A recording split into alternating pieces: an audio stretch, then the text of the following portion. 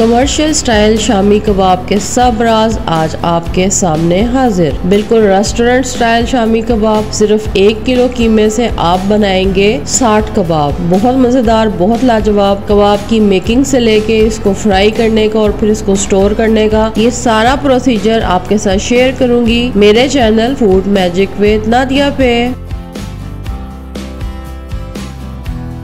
बिस्मिल्लाहिर्रहमानिर्रहीम। अस्सलाम वालेकुम my dear and wonderful viewers welcome back to my channel food magic with Nadia I believe in the magic of healthy homemade food for a happier healthier lifestyle आपकी आसानी के लिए recipe card आपके सामने है। रेसिपी की तमाम detail description box में भी आपको मिल जाएँगी और मैं तो आपको साथ साथ गाइड कर ही रही हूँ। तो सीखिए मेरे साथ। आधा किलो चने की दाल साफ़ करें और एक घंटे के लिए पानी में भिगो के रख दें। जितनी देर तक भीगी रहेगी, इतने अच्छे कबाब तैयार होंगे। एक किलो मैंने कीमा लिया ये आपको फ्रोजन कीमा नज़र आ रहा है। इसके अंदर प्याज, लहसुन और अदरक और हरी मिर्चें पीसी हुई हैं। अगर आपके पास ऐसा कीमा नहीं है तो आप दो प्याज, दो हरी मिर्चें, अदरक, लहसुन पेस्ट एक टेबल स्पून डाल के उसको पीस लें और इसके अंदर शामिल कर दें। एक चाय का चम्मच खुश्क धनिया पाउडर डाल दें। एक चाय का चम्मच गरम मसाला पाउडर डाल दें।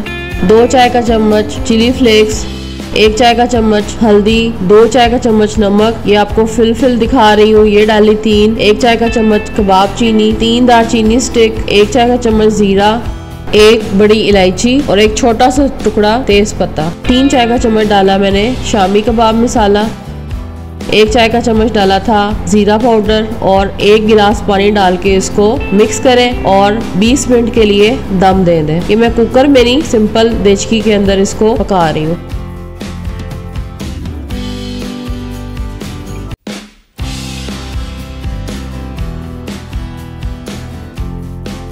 आधे घंटे के बाद चेक किया, दाल बिल्कुल गल चुकी हुई है। ज़्यादा ठंडा नहीं करेंगे।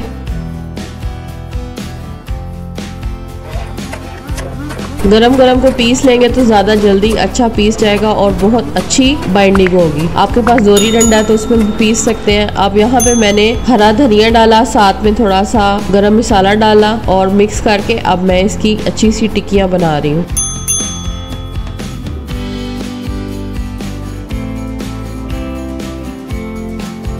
ये तकरीबन साठ टिक्कियाँ तैयार हुई थी। कुछ कबाब मैंने फ्राई किए। आप इसे विदाउट एग भी फ्राई कर सकते हैं। तवे के ऊपर मैंने कुकिंग ऑयल को गर्म किया, अंडा लगाया कबाब के ऊपर और इसको डिप करके फिर मैं तवे पे डालती जा रही हूँ।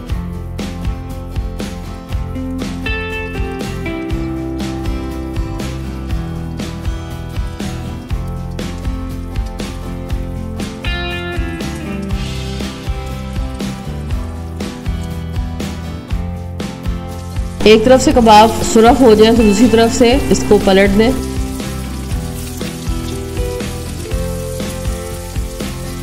मैं इस तरह से इसे तवे पे ही साइड पे करती जाती हूँ, दूसरी साइड जब चेंज करती हूँ तो फिर ऑयल के अंदर मजीद कबाब ऐड कर लेती हूँ। इस तरह से बहुत अच्छे से कुकिंग ऑयल निकल जाता है कबाब के अंदर से। ये देखिए कितने ज़बरदस्त तैयार हुए हैं दोनों तरफ़ से।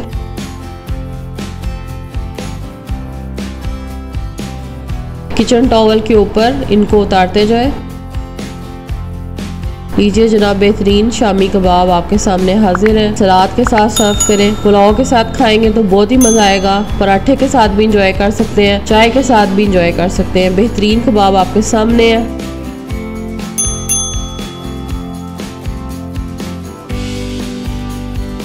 अब इसको हम फ्रीज कर रहे हैं। मैंने एक डिस्पोजेबल बॉक्स लिया इसके अंदर। मैंने प्लास्टिक बैग या आप कोई भी शॉपर लेके उसे इस तरह से लगाते जाएँ कबाब को। इससे फ़ायदा ये होगा, जितनी लोड शेडिंग हो रही है, कबाब बिल्कुल भी खराब नहीं होंगे। आप इसे कम अज कम तीन महीने तक स्टोर करके रख सकते हैं और सेल भी कर सकते हैं। लीजिए मज़ेदार कबाब तैयार है, इनको फ्रीज कर दें। आई होप आपको मेरी आज की रेसिपी अच्छी लगी होगी। ये कबाब बनाने में बहुत आसान है। रेशा कबाब से ज़्यादा आसान रेसिपी और बिल्कुल देखे, इनमें भी रेशा आ रहा है। है। बहुत मज़ेदार, बहुत लाजवाब। आई होप आपको मेरी आज की रेसिपी पसंद आई होगी। वीडियो को लाइक करना ना भूलिएगा। चैनल पे अगर फ़र्स्ट टाइम है तो सब्सक्राइब कर दें बेल आइकन को प्रेस कर दें। शेयर करना ना भूलिएगा। कमेंट करके ज़रूर बताया करें। Thanks for watching take care Allah Hafiz.